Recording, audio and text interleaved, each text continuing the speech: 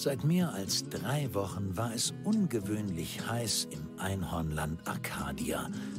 Die Schüler der Einhornschule, die Wolke und ihre Freunde besuchten, vergaßen langsam ihre anfängliche Freude über das wunderbare Sommerwetter.